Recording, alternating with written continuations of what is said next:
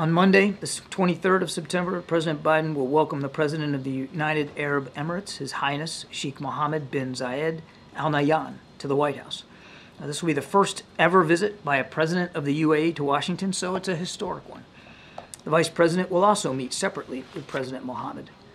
Both the President and the Vice President have spoken with or met with President Mohammed at multiple points throughout the administration, and we look forward to the opportunity to have face to face discussions here. In particular, the President and the Vice President will discuss a number of bilateral and regional matters together with, with areas of deepening cooperation in advanced technology, clean energy, space, supply chain resiliency, and critical infrastructure investments.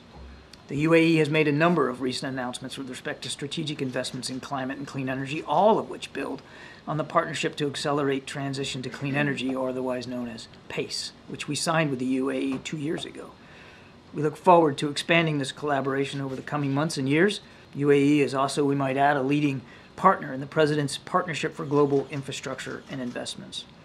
Advanced technology, I think, will also be a focus of this discussion, including efforts to advance responsible artificial intelligence goals. Now, in the region, President Biden and Vice President Harris will discuss with uh, President Mohammed, obviously, the, the crisis in Gaza, UAE's essential role in addressing the humanitarian crisis there, and the crisis in Sudan, where, as the President's statement made clear last night, we all, all must increase efforts to open routes for humanitarian assistance and ultimately to secure a ceasefire. The President and the Vice President look forward to this important engagement with a strategic partner uh, at a very important time.